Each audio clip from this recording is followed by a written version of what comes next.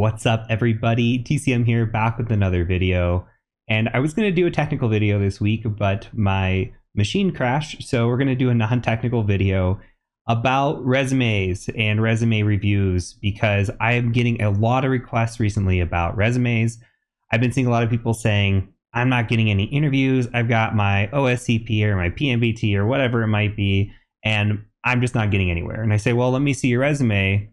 And nine times out of 10, it's a very bad resume. So I'm going to educate you all on how to write a proper resume, how to get some callbacks for interviews, and we'll take it from there. So before we do that, as always, if you like the channel, please do hit that like button, subscribe, comment down below, hit the bell. You know the drill by now. We're going to take a quick word from our sponsor, and then we're going to jump right into resume reviews. Today's video is brought to you by Snyk.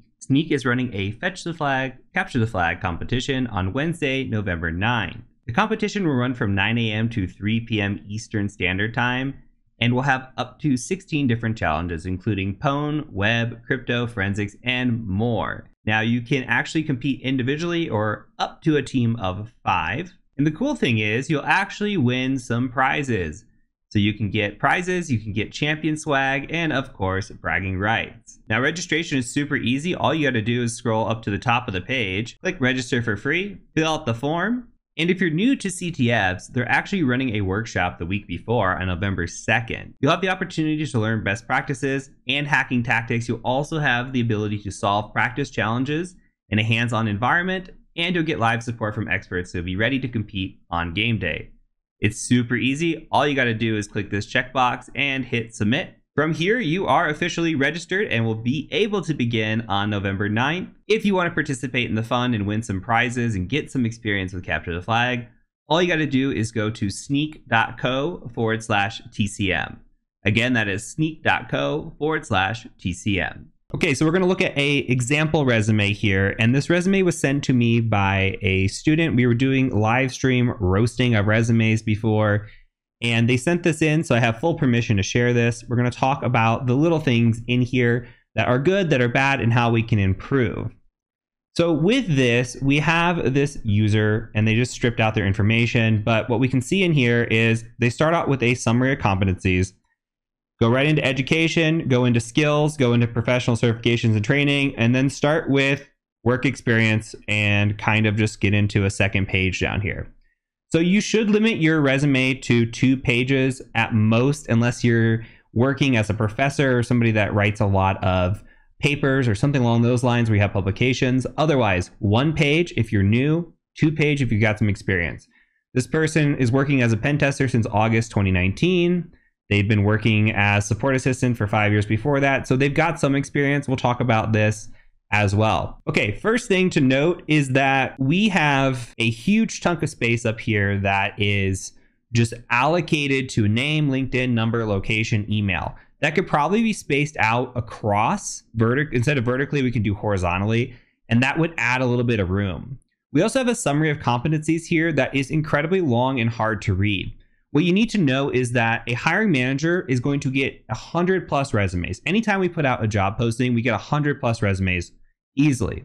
And we have to sort through those very quickly. We're not going to read every single line of your resume at first. So, what do we do? We do the competency check, right? We want to say, hey, does this person meet our education requirements? So, here they've got education. Great. That's what we're checking for. Do they have skills and certifications that we're looking for? We can come in here and look at the certifications that they have and make that pretty easy. Uh, we'll also look at work experience and some things, but I need a snapshot where I don't want to have to search and hunt down what you do. I see too many people put their certifications down at the bottom or their education down at the bottom. I'm not a big fan of that. Where this person has their education and their their certifications, I think is good. Now, I think that this is really wordy here. Uh, if you're looking at this, are you going to read this right off the bat? Probably not. I think an objective statement here, maybe three sentences at most, is pretty good. And then you can put some short sentences here about the skills that you have. But having five bullet points that are very wordy and very lengthy right off the bat is very hard to read, and I will likely skip over it. So I would say save this for somewhere else and use this space for something else. Now, this person also has education, which is great. I think having education second is good. People ask, do I need to put my GPA or what grades I got? Only if you had really good grades and you're new ish. If you're new and you've got good grades, I think that helps. Otherwise, you can leave your GPA off. Nobody really cares if you graduated with honors or what classes you took unless you're applying to like a graduate program or you're applying to a PhD or something along those lines. Most places don't care, at least in the IT world. Okay. So I would say you could put your GPA, you could put that you graduated with honors, but don't start listing classes and everything else here. Just that's going to take up too much space. Next thing up are your skills. I am not big on putting skills in here. Windows, Linux, Unix. If you're a pen tester, I assume you already know this. Uh, if you're looking at getting into pen testing, I assume you already know this. When we talk about cybersecurity in general, I assume you should know these things. Kali Linux, Nmap, these are just buzzwords. I think you can use something else here. You can put these elsewhere, okay? For example, if you're using Kali Linux, you could say, as a pen tester, I use Kali Linux to perform uh, pen testing with tools such as Burp Suite, Metasploit, whatever, and put those keywords in there. Nobody cares about PuTTY or nobody cares about Nano or or really Toad or WinSCP if you're doing pen testing, probably even cybersecurity, honestly. So this is just a waste of space here. If this were my resume, I would actually take this out completely. I would reorganize this, have the education, and then move the certifications up to the top.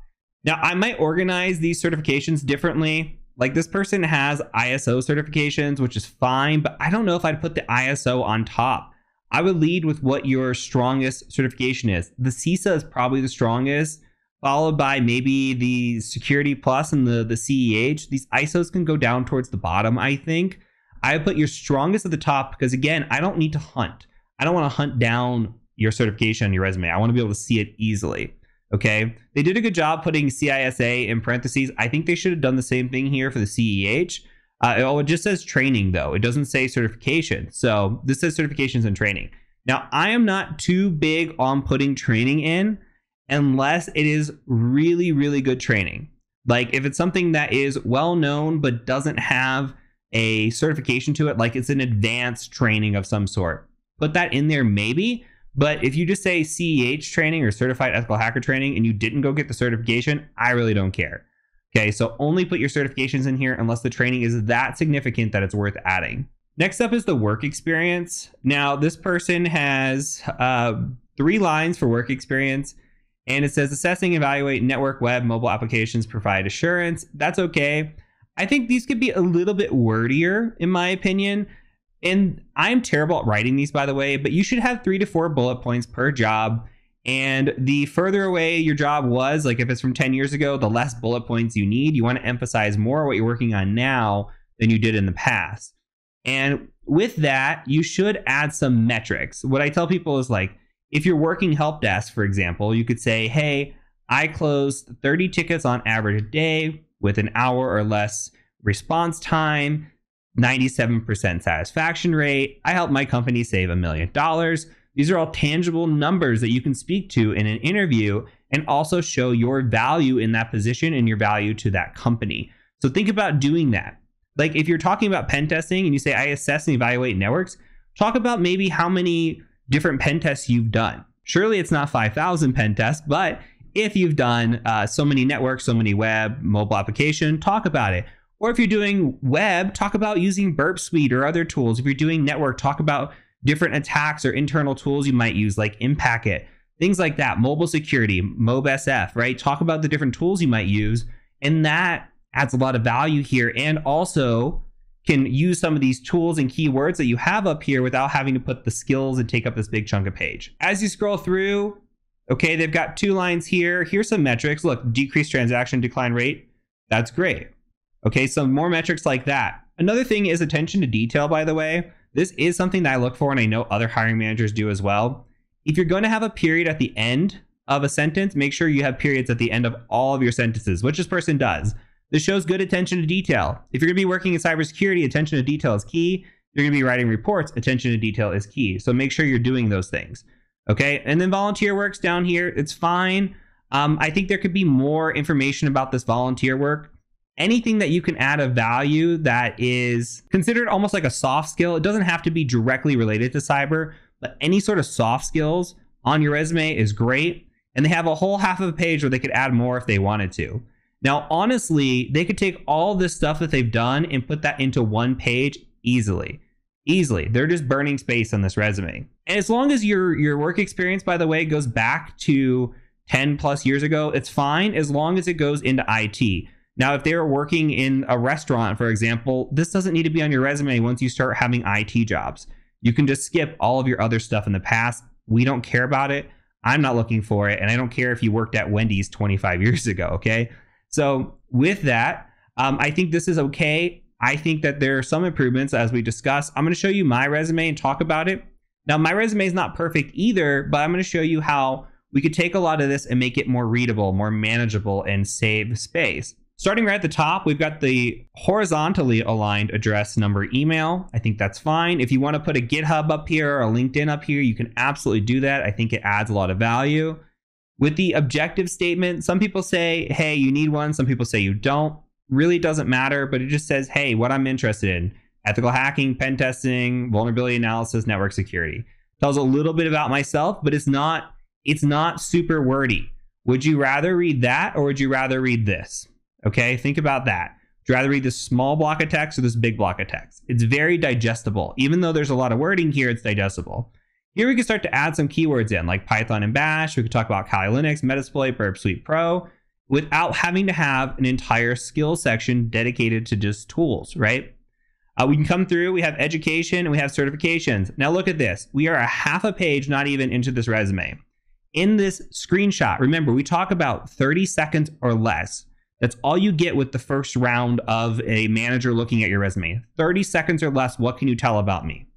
Okay, you've got tool sets, you've got degrees, and you've got certifications. Immediately, does this pass the eye test? Am I interested in this person to continue on and reading the rest of the resume? If yes, I'm going to scroll down. If no, maybe not.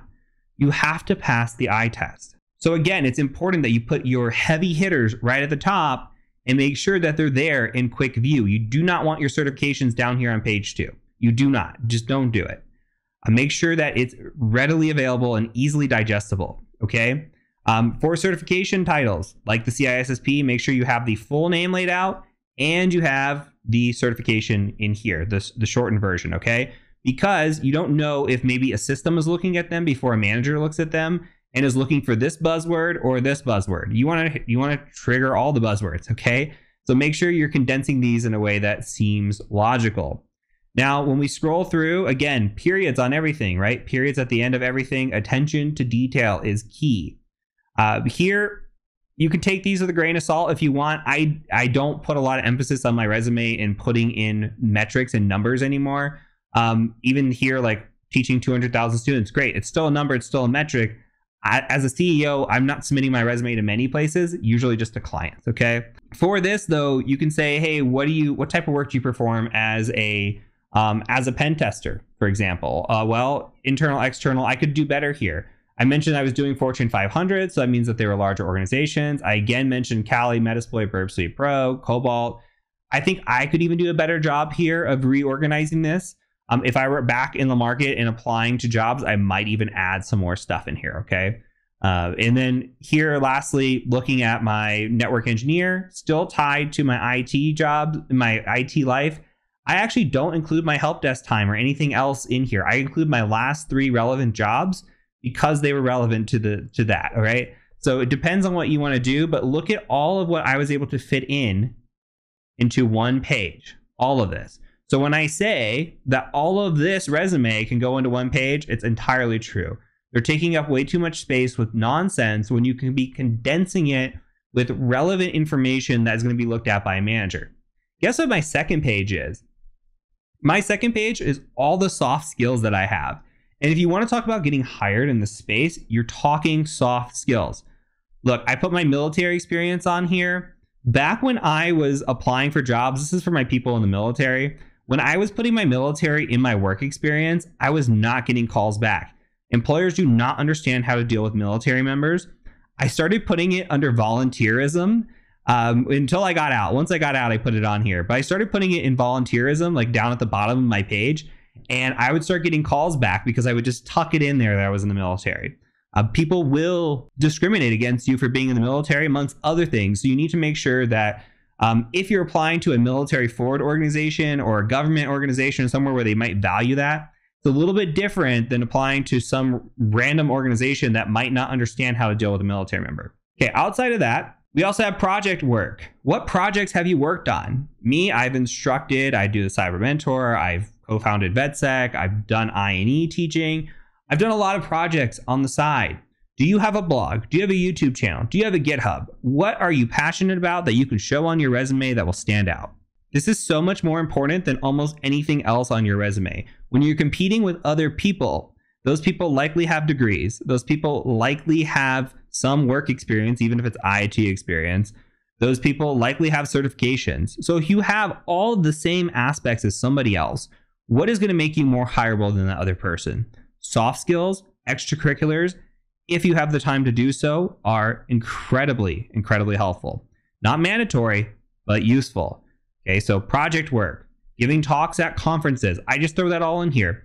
Volunteerism, anything you can talk about. Something I tell people is, for example, if you've done the practical ethical hacking course, you've gone through that and you've built out an Active Directory lab, why don't you just use that as an example? You could put that in your resume and say, hey, I've done this Active Directory lab.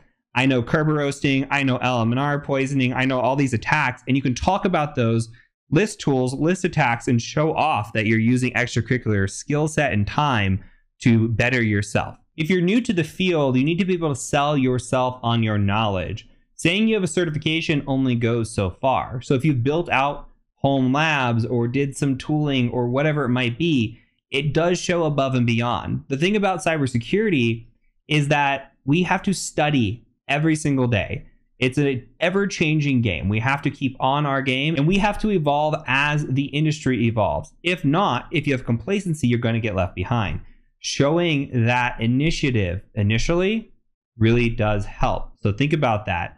The non tangible skills, the extracurriculars, the soft skills, they all play a big part in your resume as well. So that is it for this video. Hopefully you enjoyed it. Hopefully you learned something. I do have a resume template on GitHub that you can download. I'll link it in the description below if you're interested. And with that, my name is the Cyber Mentor, and until the next video, peace out.